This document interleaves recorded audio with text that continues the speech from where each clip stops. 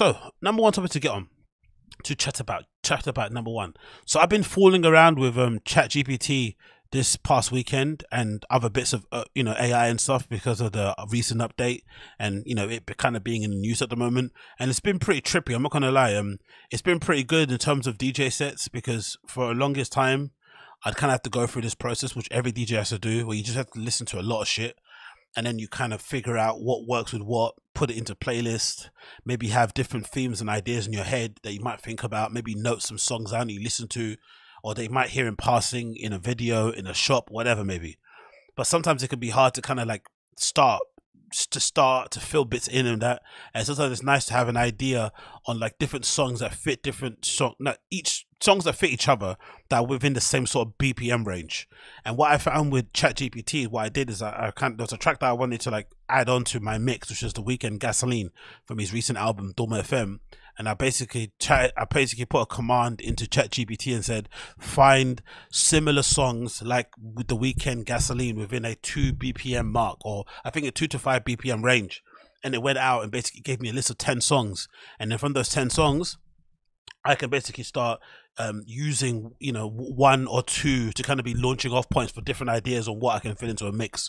So essentially, if you wanted to, you could just put an entire playlist of soon songs down for your DJ mix and say, "Hey, find me ten of the best techno songs that came out between you know 1999 and 2005 within the BPM range of 130 and 150," and it'll give you an entire list, and you can just use that and mix it into a fucking DJ mix. It's pretty crazy. It's pretty, pretty, pretty crazy. So I've been smashing that, and of course, in Uche saying, "Yeah, I'm refusing to get ChatGPT. I don't think the world needs students using that shit." Yeah, but I've I've read reports of fucking ChatGPT passing the bar exam, like insane.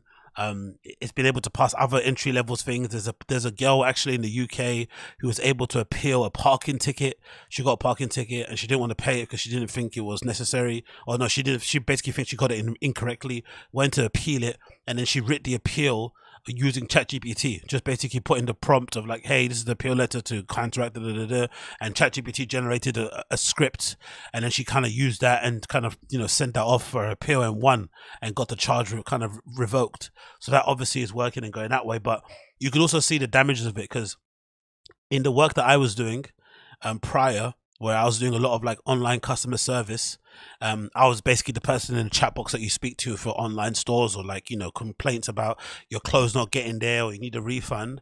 A lot of that shit really with with only few exceptions it could be done automate. You could you could automate that easily. And having like an ai client that can just answer some basic questions as like when can i expect my refund for my return? Where's my tracking number have you got this in this size? That can all be done with AI. You don't really need me. So it kind of takes me out of the workforce. And the only thing you'd need someone like me for like, you know, high touch point stuff or like detailed things that like, I don't know, if you wanted to get an, an, an idea on certain colors or things coming up in the future, maybe that sort of stuff, that might be something that can kind of go there. But another aspect I thought that would really kind of impact my work is my other bit of experience I've got on my, um, you know, work in terms of employment stuff is I did a lot of marketing. I did a lot of social media managing, basically what BGL did for Brendan So that's why I get PTSD looking at him and he kind of scares me because that's basically the horror of any person working in social media is ending up being the 40 year old social media manager for some shitty brand you don't care about and having to fucking retweet and share stuff on social. It kills you. Even though it pays well, it's fucking annoying and it's an easy job, but it's annoying. But I know for a lot of my job at that time, a lot of part of the job was to create a content calendar. And what you do if you're a social media manager, a content calendar is that you basically, you know, spec out what types of content you want to drop on each day. And usually it'll be, you know, let's say St. Paddy's Day, it'll be a St. Paddy's Day post. Maybe it'll be something on Twitter, maybe something on Instagram, maybe it'll be an email newsletter, whatever. You just think of some ideas and you kind of plot them around the schedule, around the calendar. And then you also insert any brand things, so any overarching brand ideas or marketing pushes they want to do you basically plot them along. Technically, that stuff could easily be done by an AI. It can easily be done by an AI. That's social media managing. They could easily spec out and schedule post to go out on fucking hump to go out on burger day st paddy all these fucking you know nominal these days that people kind of you know celebrate in kind of social media way they can easily be done on top of extra content so it kind of takes me out of the workforce in both places customer service and marketing and social media that's the scary part of it like it legitimately renders my CV experience of over like 10 years doing this sort of stuff over my life, it kind of renders it mute. Like I'm completely gone in a flash. It's kind of scary, but it's basically the way of the world, isn't it? I guess. But there's this article here, courtesy of New York Times, where a lot of other kind of high, you know, um, influential sort of tech people are basically sounding the alarm and saying, hey, we need to kind of stop we need to chill because this AI is going too crazy. So this is courtesy of New York Times. It says Elon Musk and others call for a pause on AI, citing profound risks to society, which is pretty wild to think because they're all kind of pushing their own thing. I think Elon's trying to do his own AI. Um, he's obviously harassing also criticizing a lot of the OpenAI guys because they've gone from being a non-profit to being a profit company and obviously being absorbed by Microsoft, blah blah blah. And he's generally somebody that's quite open to pushing, you know, technology innovation. So if he's sounding the alarm, then you definitely know something, you know, something scary is around the corner. So, according to the New York Times, more than 1,000 tech leaders and researchers, including Elon Musk, have urged artificial intelligence labs to pause development on the most advanced systems, warning in an open letter that AI tools present profound risks to society and humanity. AI developers are locked in an in are locked in an out of control race to develop to deploy even more powerful digital minds than no one, um, not even their creators, can understand, predict, or reliably control, according to a letter which the non-profit Future of Life Institute released on Wednesday. Others who signed the letter include Steve Wozniak, co-founder of Apple, Andrew Yang, an entrepreneur and a 2020 presidential candidate, Rachel Bronson, and the president of Bulletin Automat- Autom- Atomic sorry, scientist, which sets the doomsday clock. These things are shaping our world, says Gary Marcus, an entrepreneur and academic who's long complained of flaws of AI. We have a perfect storm of corporate irresponsibility, widespread adoption, and a lack of regulation and a huge number of unknowns. AI powers chatbots like ChatGPT, Microsoft's Bing, Google's Bard, um, which can perform human-like conversations, create essays, and on endless variety of topics, and perform more complex tasks like writing computer code. The push to develop more powerful chatbots has led to a race that could determine the next leaders of the tech industry, but these tools have been criticized for getting details wrong and the ability to spread misinformation. I'm just curious, though, I'm sure this has been done, but I'm curious if this will also limit the amount of people who are making money on like those ebooks and doing like you know drop shipping. Because for some reason on my tiktok now i barely use it and stuff don't get me wrong. But when i go on my made feed now i get so many people content creators talking about fucking drop shipping.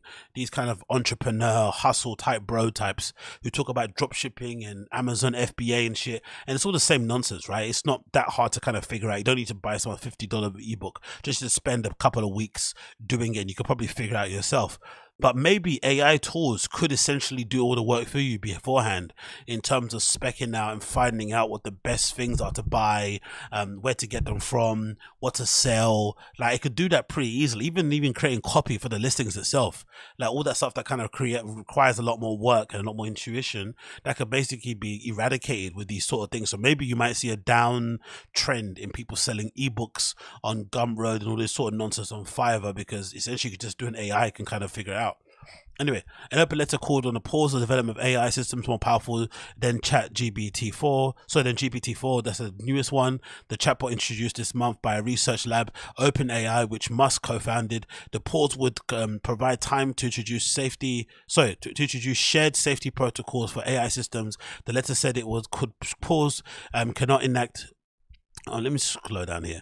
If such pause cannot be enacted quickly, government should step in and institute a moratorium. Development of powerful AI systems should advance only once we're confident that these effects will be positive and their risk will be manageable.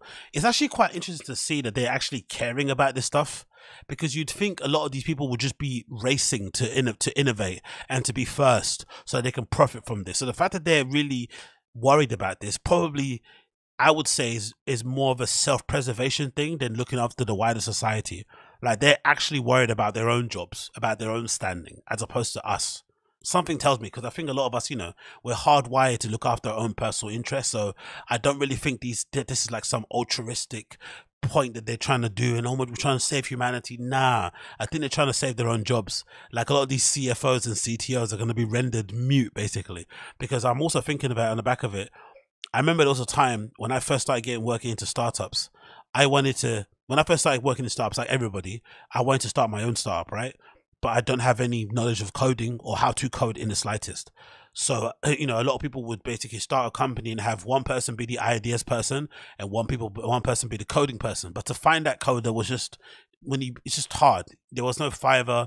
There was no like I don't know platforms you can maybe I don't know what else you can go on, but it just didn't exist where you could just find someone to code something for you. And in your head you think you know developers you have to pay them a lot of money, so it just didn't make sense. So nowadays, if you're that person who's got loads of ideas and you and you want to ideate and you want to basically, you know, put out the minimal viable product out there to kind of test your assumption or your idea to see if it works and there's a need for it, you can spec out some pretty basic code on ChatGPT and kind of get it running or whatever platform, open AI platform, and kind of get it set up without having any experience or knowledge of how to code. So you could essentially build the next Uber, the next Facebook, the next Instagram, just from an idea alone with no technical expertise whatsoever, and then kind of flesh it out as you go along. you legitimately get these one man machines or one woman machines who just, you know, pres- um, publish and create these startups and then just with a, with the sole intention of kind of selling them. Like okay i proved this idea works. I'm going to sell it to this company. And then you just kind of keep on rolling on just like rinse and repeat. And you can just maybe launch and sell 10 startups in a year and become a gajillionaire in a short space of time because you just got all these amazing ideas but you never had a chance to kind of you know enact them because you don't have any technical expertise. Yo yo yo also it made me think. What about jokes? I'm actually see that because there's, there's, a Tom Brady special where he did it with AI. I'm actually going to search that and get that up. But imagine with jokes as well. Could you do that as well with jokes? If you're a comedian, just punch up your jokes on Chat G- on Chat GPT. Write your actual joke where you performed on the stage, and then punch it up and say, "Oh, give me five different variations of this same joke." Mad. Anyway, um, humanity can enjoy a flourishing future with AI. The letter says, having succeeded in creating powerful AI systems, we can now enjoy an AI summer in which we reap the rewards, engineer these systems for a clear benefit of all, and give society a chance to adapt. Rata, they're scared, innit? They're really worried. Give society a chance to adapt. That's how fast we're going. So, on one sense with technology, I feel like, especially with smartphones, right? most of us have a variation of these, right? Most of us have a variation of an iPhone a phone that's kind of like this rectangular design with the touch screen that you can touch and stuff. What basic shit. And it feels like we've kind of reached a bit of a we've kind of reached a bit of a brick wall with the design of these phones. Hasn't really evolved or developed any further than this. So this is where kind of innovation has stopped. And then it feels like with AI, this endless is still going, but it's going so fast now that the tech guys are getting scared right? They're, they're, sending out warnings like, please stop. Anyway, um, Sam Altman, the chief executive of OpenAI, did not sign the letter. Of course, he didn't. Mark, Mr. Marcus, and others believe that the persuading the wider tech community to agree to a moratorium will, sorry, to a moratorium will be difficult, but swift government action is also a slim possibility because lawmakers have done little to regulate artificial intelligence. Yeah, maybe that's something that lawmakers end up doing because you would imagine, right? You'd imagine, you'd imagine this if AI does end up taking over and it does end up rendering, again, imagine myself included, it does end up kind of rendering my job experience mute. So any experience I have in marketing, any experience I have in social media, any experience I have in customer service, any experience I have in operations, it completely goes because ChatGPT and OpenAI in general kind of take all those jobs away and automate them in some way, shape, or form. That would then mean someone like myself who's just regular working regular working a regular job would then need to have the government step in and support me in some way. They would have to kind of pick up my slack in some way, shape, or form, or kind of plot, or kind of ha- give me the ability to make a living because I can't make a living in that way anymore because technology has kind of rendered me mute. Then what? Because I can't exactly because that whole term about learn to code we can't learn to code anymore because there's you know I mean? These things have taken over our ability to kind of code and become you know actually viable in the job marketplace. So it does throw up a lot of interesting suggestions and solutions. So maybe governments will step in because most governments especially won't want to pay you know people money not to work and shit or to kind of make up that slack. They don't want to do that. They'd rather um you know rather enact some laws that kind of halt the development and innovation of these things which again you'd think is very Russia like. Right? If the government does step in and say, "Hey, AI is becoming too advanced. We need to rein it in," it's very totalitarian. It's very big brotherish. It's very much like Russia. People complain about Russia and say the there's no innovation coming out of Russia because of how it's set up over there. But this is giving North Korea if they end up doing it. If governments around the world end up halting development of AI because they're scared of the wide impact of society and they don't do anything else in between, it's a little bit spooky. A little bit spooky. So it makes you seem, you know, is Putin really that bad of a guy, really? uh, who knows? Who knows? But yeah, what people saying in the chat here, the government's wild for allowing the purchase with no oversight and allowing it to become about maintenance of shore shed. Um, what people saying here, now bros, coding is still valuable. Yeah, of course, no, coding is still valuable for sure, but over time it will become less and less valuable. It will become like all things. The top, top coders in the world will still always be in demand, but entry level type shit. I don't know what that means, entry level coding, but there is an entry level, I'm sure, that will become mute because you can just have it done by artificial intelligence. Um, what people are saying here, uh, I def don't want to be stuck on Earth forever. Says Natasha Ski. Yeah, I want to get on that plane, mate. Fly me off plane. Fly me on that flipping um, fly me on that fucking SpaceX rocket, mate. Get me to Mars. Get me to Mars. Let me start on there. Let me be the only DJ on Mars. ChatGPT, hey, exactly. What's what it saying? ChatGPT, how can I hit all Asian massage parlors? you know what's funny actually? Talking about massage parlors, it's not. A, I, I'm always curious as to why it's not that much of a popular thing in the UK. We do have them. Don't get me wrong. We do have massage parlors. I'm not saying we don't. We do have massage parlors, but massage parlor culture isn't as popular as I would imagine it would be here because I don't know. Part of me thinks if we don't really have we don't really have strip club culture in the UK. They do exist, but they don't not in the same way of it in America.